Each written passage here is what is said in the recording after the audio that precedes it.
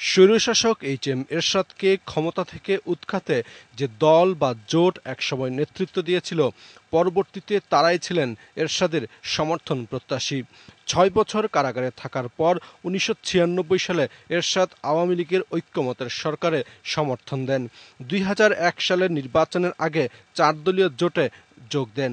পরে জোট থেকে বেরো হয়ে আসেন।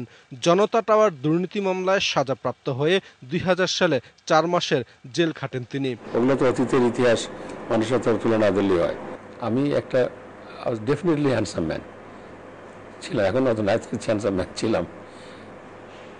এখনও মেয়েরা আমাকে পছন্দ করে। দুই হাজার আট সালের নির্বাচনের আগে এরশাদ মহাজোটে যোগ দেন। মহাজোট সরকার জাতীয় পার্টিকে মূল্যায়ন করেনি বলে এরশাদ অনেক দিন ধরেই অভিযোগ করে আসছিলেন। আমরা তো কারোর সাথে নয়। আমরা নির্বাচন করব রাজনীতিতে প্রচার রয়েছে নিজের মামলার কারণে এরশাদ কখনো ইচ্ছামতো সিদ্ধান্ত নিতে পারেন না। সব সময় কারাভীতি কাজ করেন। যখন যে দলের আসবার সম্ভাবনা আছে ক্ষমতায় সে তার উপরে এরশাদ ভর করবে কারণ তার আত্মরক্ষা করতে হবে। মঞ্জুর হত্যা মামলা সহ এখনও ঝুলছে অনেক মামলা। মঞ্জুর হত্যা মামলার অভিযোগপত্র অনুযায়ী এরশাদ মঞ্জুরকে হত্যার নির্দেশ দিয়েছিলেন। মনে করি এরশাদ সাহেবই দুজনকে হত্যা করেছে। দুজন থেকে জিয়া রহমান।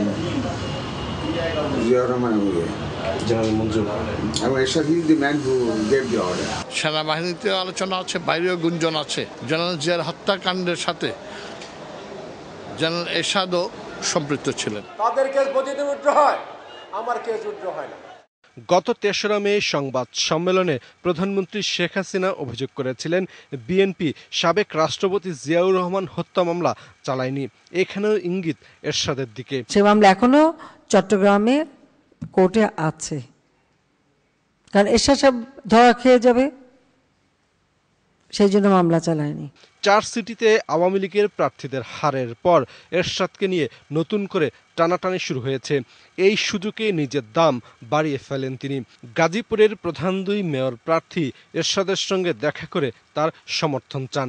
কিন্তু নির্বাচনী প্রচারণা শেষ হওয়ার কয়েক ঘণ্টা আগে আজমতুল্লাহকে তিনি সমর্থন দেন। তিন জোটের রূপরেখা এরশাদের পতনের পরপর সেখানে স্পষ্ট করে লেখা আছে যে রাজাকার এবং স্বৈরাচারকে স্থান দেবে না।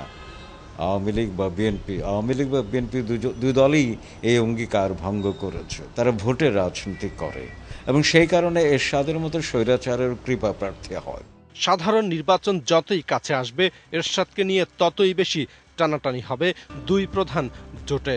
তবে সময়ই বলবে কোন দিকে যাবেন এরশাদ, কারণ তিনি যে unpredictable Masudul Haque ATN news Dhaka.